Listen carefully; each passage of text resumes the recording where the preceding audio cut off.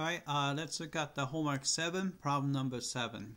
All right, so we want to find, uh, for part A, uh, we want to find the partial fractions of uh, this um, uh, rational function there. All right, so let's do that. So open up maxima. All right, then go to calculus. And then we want to find the partial, let's see, where's the partial fractions? Right there.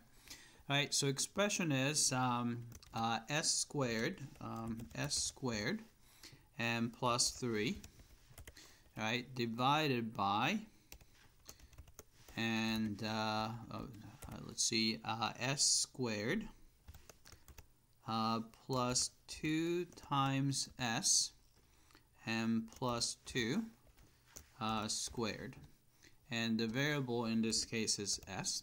Right, so let's uh, hit and OK. Then uh, let's see, oh, let's see, partial fractions. Um, it's oh, let's see, it's not doing it. Uh, let's see, what's uh, so did I put this correctly? Oh, here, because I didn't put that square there. So let's say, right. So this is the partial fractions. Right, so that's part A. And part B is finding the Laplace transform of t times sine of kt. Right, so uh, let's do that. Saying go up and uh, calculus. And then we Laplace transform.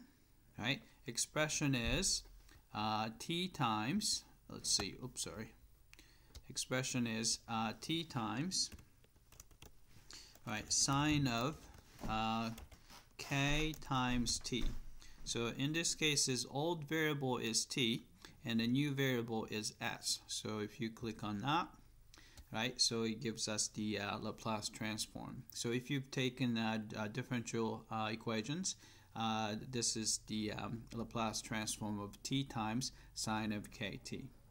Alright, so that's part B, and part C is inverse Laplace transform of uh, this guy. So let's find that um, open up here uh, maxima. Right go to calculus.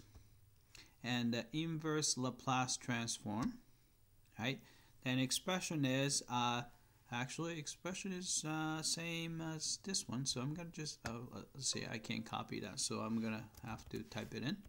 So we have s squared plus 3 divided by um, not squared, uh, s squared uh, plus 2 times s plus 2, right?